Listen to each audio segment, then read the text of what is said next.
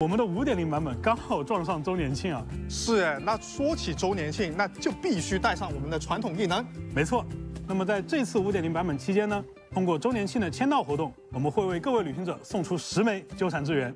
另外，我们也会通过邮件向大家发放包括一千六百原石在内的诸多奖励，其中还包含一个全新的跟宠和一个有趣的炸弹玩具小道具哦。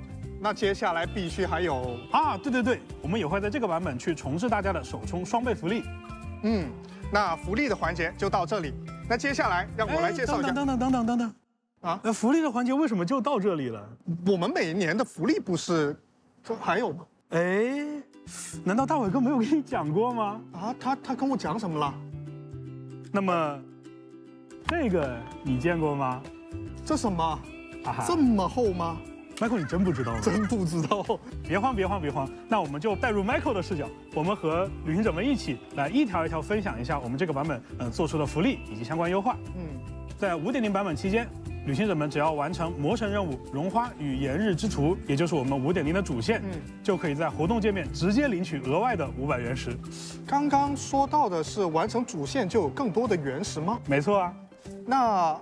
还有提到一点是五点零版本期间才有，那是只有五点零才有吗？哎，那可不是了，在接下来的五点零、五点一和五点三版本，也就是我们的主线重要篇章发布的这些版本，都可以拿到这样的限时奖励，也就是有更多的额外的五百原石哦。